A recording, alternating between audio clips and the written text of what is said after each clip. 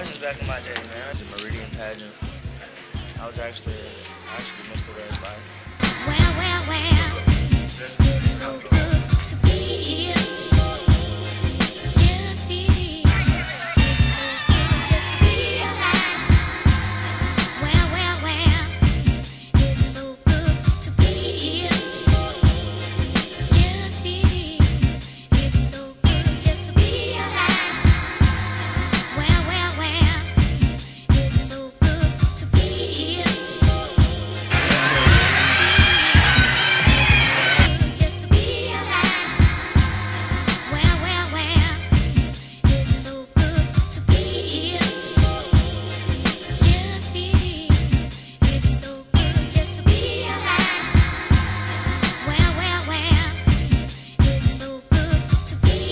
I appreciate coming back to Howard, man. I, I get like a a new recharged, you know, surge in energy and inspiration from the younger generation.